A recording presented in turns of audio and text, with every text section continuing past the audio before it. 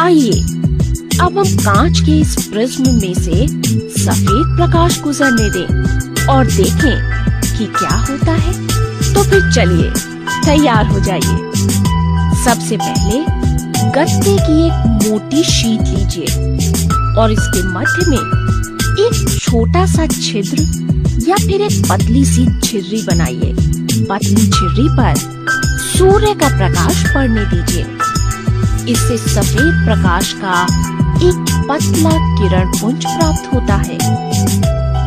अब कांच का एक प्रिज्म लीजिए और झिर्री से होकर आने वाले प्रकाश को इसके एक फलक पर डालिए।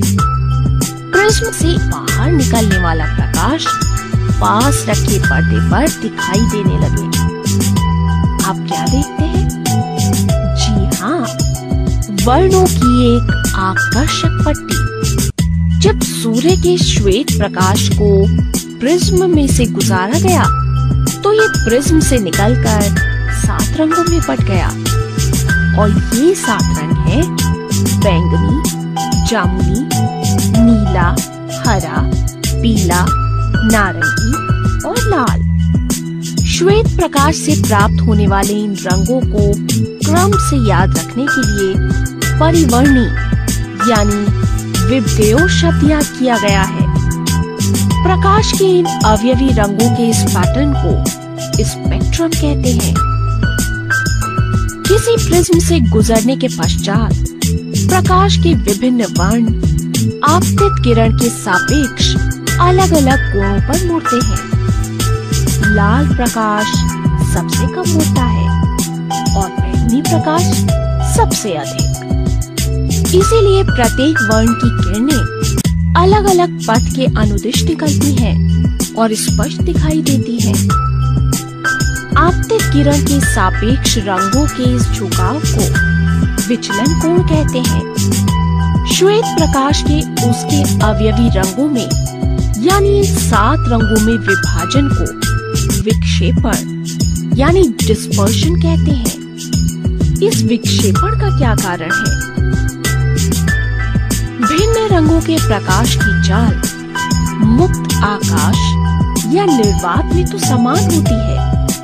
लेकिन किसी अन्य अपवर्ती माध्यम, जैसे कि कांच या पानी आदि में भिन्न भिन्न होती है।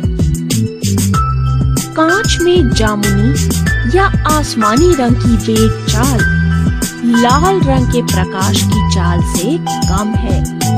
और इसी कारण से कांच का अपवर्तनांक विभिन्न रंगों के प्रकाश के लिए अलग अलग होता है। कांच का अपवर्तनांक बैंगनी रंग के प्रकाश के लिए अधिकतम और लाल रंग के प्रकाश के लिए सबसे कम होता है।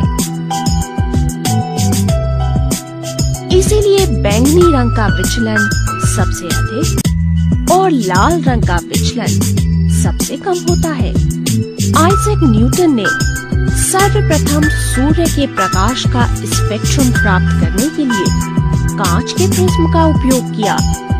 उन्होंने जब एक दूसरे सर्वसम प्रिज्म को पहले प्रिज्म के सापेक्ष उल्टी स्थिति में रखा तो पहले प्रिज्म द्वारा प्राप्त स्पेक्ट्रम के सभी रंग दूसरे प्रिज्म से होकर गुजरे और जब उसे दूसरे प्रिज्म में से एक बार फिर गुजारा तो श्वेत प्रकाश का किरण पुंज प्राप्त हुआ।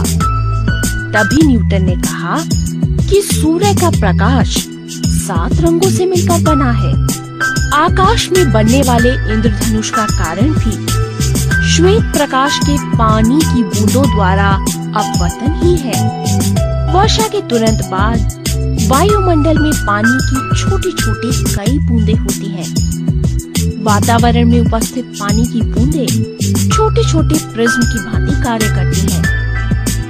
सूर्य के आपतित प्रकाश को ये बूंदे अपवर्तित तथा विक्षेपित करती है और फिर इन्हें आंतरिक परावर्तित करती है और फिर जल की बूंद से बाहर निकलते हुए प्रकाश को पुनः अपवर्तित करती है प्रकाश के परिक्षेपण और आंतरिक परावर्तन के कारण विभिन्न रंगों की प्रकाश किरणें हमारे नेत्रों तक पहुँचती है और हमें सुंदर इंद्रधनुष नज़र आता है।